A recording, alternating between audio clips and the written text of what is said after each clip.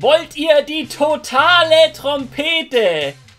Ja, denn hier seid ihr richtig, denn ihr seid hier auf Open Mind Trompete. Und totale Trompete ist eine Alliteration. Das ist sehr gut. Wir haben auf diesem Kanal bereits auf einen humorvollen Sketch reagiert und ich finde es geil, hier jetzt ein Format aufzumachen, wo wir über unterschiedlichen Humor reden, auf unterschiedliche Sketches und sowas reagieren und dass man sich darüber enthalten kann, was ist witzig, was ist unwitzig, auf unterschiedlichen Stand-up kann man dann reagieren. Schreibt ihr auf jeden Fall schon mal in die Kommentare, auf welche Art von Humor ich reagieren soll. Es wäre interessant, wenn ihr irgendwie so weirden Humor oder sowas vorschlagt. Aber als ich auf die Limmys Show reagiert habe, war die Nummer 1 Choice, auf die ich re reagieren soll, Eric Andre. Genau, auf Eric Andre soll ich reagieren. Das Ding ist, ich habe das schon komplett durchgeschaut, deswegen bin ich auch vor, vor, allem gespannt auf deine Reaktion. Keine Sorge, da braucht man kein krasses Englisch. Ich zeige dir vor allem erstmal nur das Intro von der Show. Das ist das Show-Opening. Ich bin gespannt, ob, wie du das findest. Ladies and Gentlemen, also das ist jetzt einmal, also es ist jedes Mal leichte Variation, er macht immer jedes Mal die, das alles kaputt.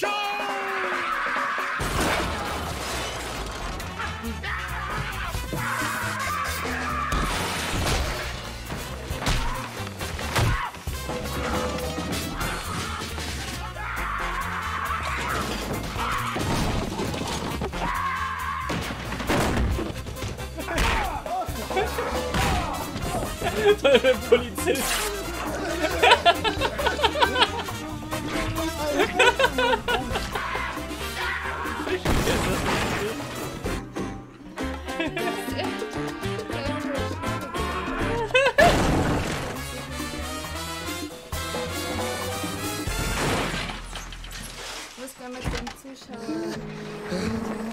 Oh, bei Twitch interagiert man mit den Zuschauern.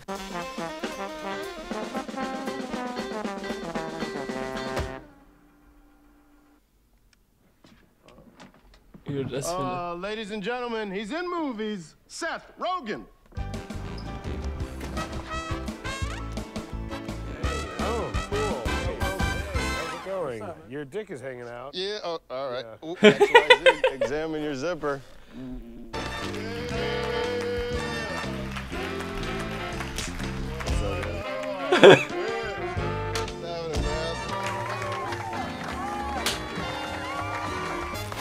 Hä, aber... Schneiden die das da die. Um, I have a couple clothing lines that I work on. And I feel like I just saw on TV that Und man muss wissen, die Show war damals relativ neu, das heißt, die haben teilweise gedacht, dass es ein normales Interview ist. Let's D to this little retarded girl in our neighborhood, yeah. and we lock arms around her and go, nightmare, nightmare, nightmare, nightmare, nightmare, nightmare, nightmare, nightmare. I got it. I got it. I got it. I got it. Sorry about that. hey, get it together, man. God damn it. Sorry. We got it. We got it. You got it. You got it. You got it. You got it. You got it. You got it. You got it. You're good. What's up? Yes. Ja, das ist nicht so mein Humor, deswegen schaue ich halt ein bisschen nicht belustigt. What, what, um, you believe in God? You believe in God? I don't know. you listen to Waka Flocka at all? Is that a band or a song? That's a, a man. Yeah, no, I think I do. Yeah? Yeah. Do they say like Waka Flocka? Yeah, Flocka. Yeah. Flocka. I go hard. Nigga. Traurig. Stinking nigga. What the fuck you thinking, nigga? That's right.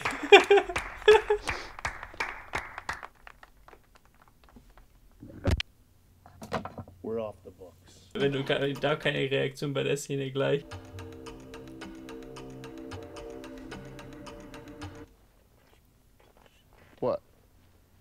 Listening.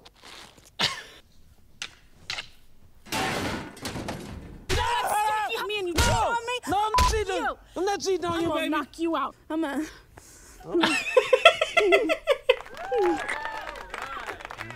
Meine Gäste schauen jetzt auch nicht irgendwie so belustigt oder sonderlich ja, überrascht. aber das ist ja das Witzige, weil, weil die Gäste einfach verwirrt sind und sich denken, hä? Ja, weil die zeigen jetzt nicht so eine heftige Reaktion. Irgendwie schaut es aus, wenn sie sich schon denken, so, ja, was soll das jetzt? Ja, aber es ist einfach nur so quasi, Weil diese Show treibt einfach Absurdität und Skurrilness auf, auf das höchste Level. Also es gibt keine Show. So, es ist so eine Art krasse Parodie auf so ähm, normale Talkshows, wo so einfach alles so nach Formel geht, so ja, hallo, okay, du bringst gerade einen krassen Film raus, erzähl, erzähl, uns irgendeine lustige Story, was du mal erlebt hast oder irgendwie sowas und das halt einfach so bricht so krass aus dem Standard aus, sodass es, dass ich es dann einfach Ja, aber ich finde das schon zu übertrieben irgendwie. Ja, ich weiß, dass ich die Kommentare nicht zu ernst nehmen soll. Sonst habe ich es immer zum Simon gesagt, dass er die Kommentare nicht zu ernst Ja. nehmen soll. Und jetzt nehme ich es selber so ernst.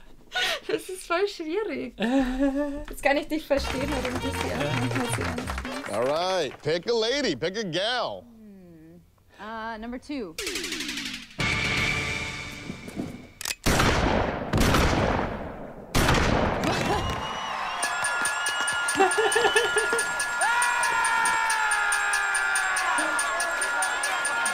Welchen Film? Sonst hab- haben meine Familie und ich immer relativ ähnlichen Humor und ich habe das meiner Familie gezeigt und die fand das auch nicht so lustig, leider. Oh, it- oh, Das ist einfach. Ich, ich find's krass, dass man das so wirklich. ich Das weiß dass nicht, du dass nicht. es zu übertrieben ist, zu offensichtlich. Ja, ja, aber das ist einfach. Scheiße, jetzt habe ich dich wieder unterbrochen. Scheiße. Und ich aber, finde, er schaut auch so, als würde sich denken, so, ja, mit dem war ja schon zu rechnen. So, Ja, ja, das nee, voll aber- langweilig. aber es ist einfach sowas. So quasi. Also wenn die jetzt auch überrascht werden oder Ja. mehr Emotionen Ja, nee, nee, ja, wär's du, ja, aber du bist überrascht, so quasi, wie konntest du damit rechnen, dass in dem Clip plötzlich ein nackter Dude, da, da, plötzlich kommt ein nackter Dude aus, aus dem Ding, so quasi, weil kann man doch, nicht da so- kann man nicht damit rechnen. uh, Stewie. Ja, mir ist es auch I zu could take a stumpf pinky. Ich will ja bei diesem Format eben auf weirden Humor reagieren. Und ich muss sagen, ich verstehe es, dass es man es absolut nicht witzig findest, aber quasi, dass man nicht mal ohne Reaktion da sitzt, als wäre Die sitzen doch auch ohne Reaktion da. Ja, die sind ja Profis, Mann. Quasi, es, es ist ja teilweise so überraschend doch zumindest. Let's sing a song. Okay.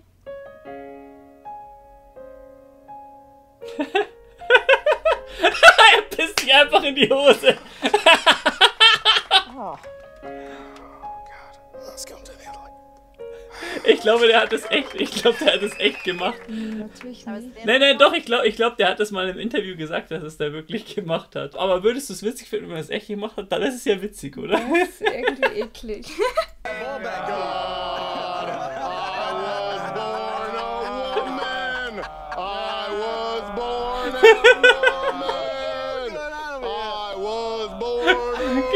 hat man am Anfang nicht, nicht gesehen. Auf einmal kommt, kommt bei dem Interview, die interviewt den, auf einmal kommen lauter Doppelgänger rein.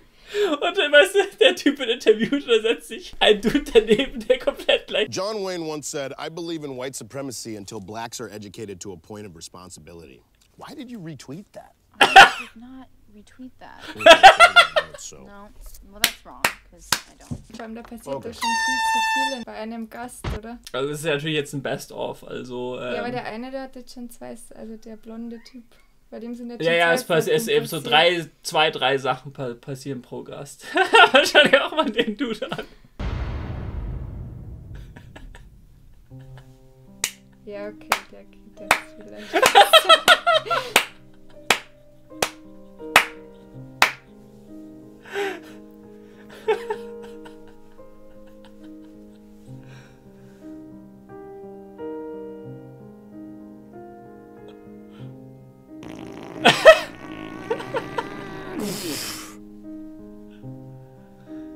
90 Minuten Interview auf drei Minuten gecuttet. Genau, das hat man, habe ich auch beim Making-of gesehen. Also in der Folge sind die Interviews dann auch immer nur so fünf Minuten oder sowas lang. Aber es hat eigentlich so 90 Minuten gebraucht, die zu filmen. Also.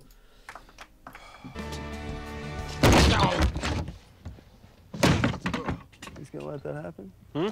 Just gonna let that happen? That's his desk. I, I stand here. Okay. Yeah, yeah. You want some cheese doodles, man? Ooh, that was almost good. Yeah!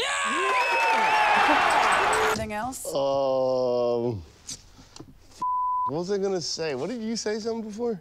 No, I wasn't saying anything. yeah, I never use condoms, ever. Come to my house for an afternoon and you will use condoms.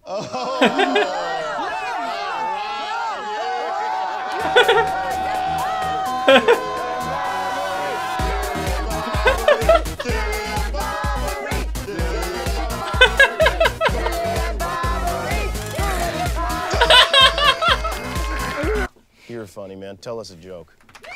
All right. Uh, so there's two guys are out in the middle of the desert. One guy gets bit by a snake. right on the head of his dick.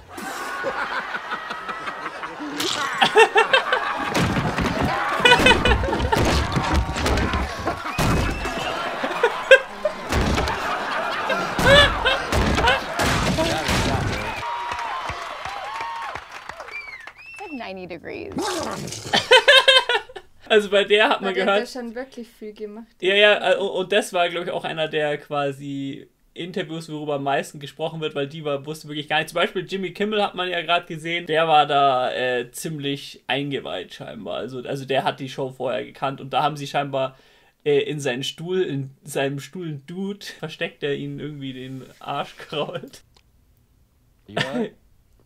Lauren, what's going on with you? God.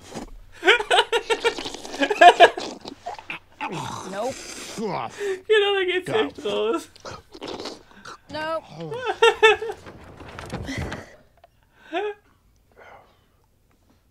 She's a great guest. I like her. Aber wie er einfach immer Hey, cool when bleiben you- kann.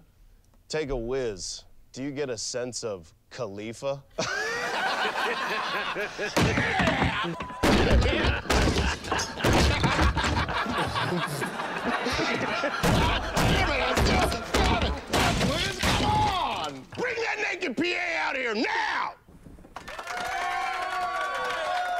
Oh ja, die Penny mag Doku, die ist echt richtig gut. Ja. Die finde ich auch so witzig. Da wisst ihr ein bisschen.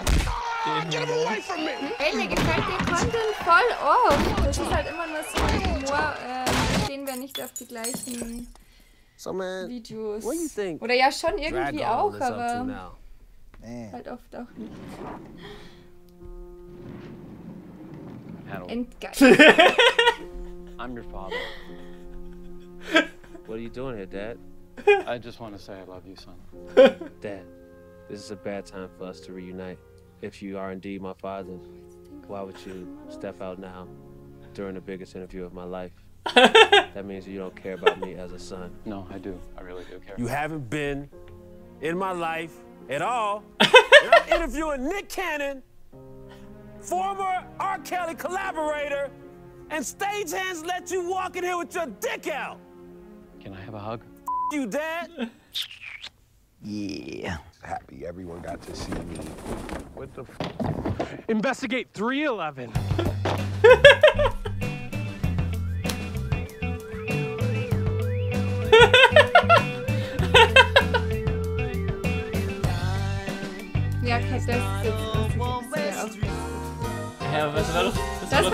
sogar besser. Ja, der Schluss. Hä, aber das, das ist doch genau der gleiche Humor wie in der Mitte. Nein, irgendwie nicht. Ich weiß es nicht. Äh, Humor ist nicht subjektiv.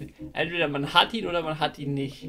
Das ist mein Humor. Also so bei Sachen, so Videos oder so. Ich muss überlegen, wenn ich, wenn ich sau unwitzig finde. Also ich finde wahrscheinlich so, wie heißt diese eine Kom weibliche Komikerin, die meine Mutter immer schaut? Ach, die schaut. Die, Monika Die Gruber. finde ich sogar auch oh teilweise lustig. Gott.